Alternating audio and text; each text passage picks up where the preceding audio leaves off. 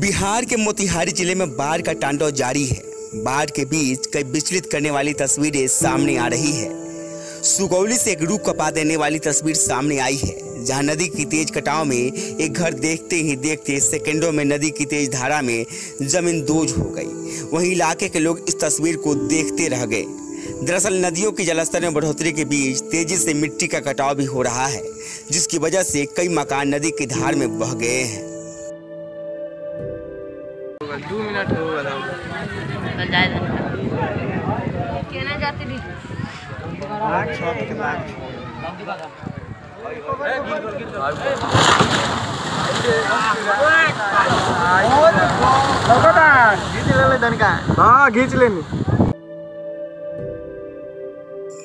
वहीं बाढ़ के कारण लोगों की आम दिनचर्या चरमरा सी गई है। नेशनल स्टेट हाईवे पर वाहनों की गति थमसी गई है। मरीजों को भी लाने और ले जाने में कठिनाइयों का सामना करना पड़ रहा है।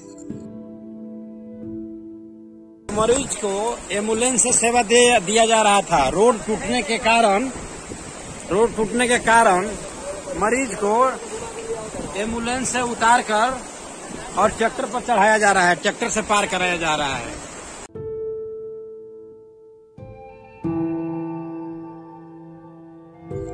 संकट की इस घड़ी में सरकार की ओर से नाम मात्र की सहायता मिल रही है?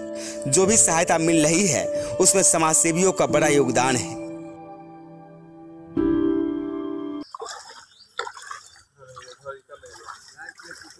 आए, का बा समस्या का बा समस्या तो इतना बा भैया हम तोरा के का कही?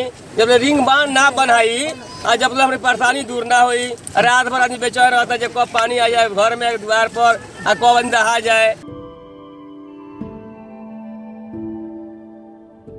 बता दें कि ज़िले के लोग हर साल बाढ़ की विभीषिका झेलते हैं, और हर साल इन्हें बाढ़ के अस्थायी समाधान का भरोसा दिलाया जाता है, और हर बार मानसून में यही तस्वीर फिर से सामने आ जाती है।